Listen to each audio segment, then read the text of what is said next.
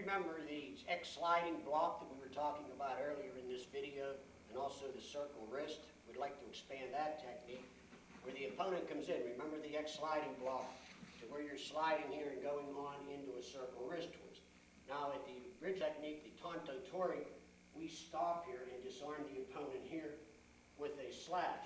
Now to get better control of the situation, say taking the opponent to the ground, as you go through here, would follow through with this technique by moving this foot and thrusting your opponent to the ground, then maneuvering into an arm lock, which you'll find on the first video, say in the open hand techniques, to here to where you're bracing against the arm, free him here, and then you can either cut across his chest or stabbing or throw the knife clear. Let's go through that again.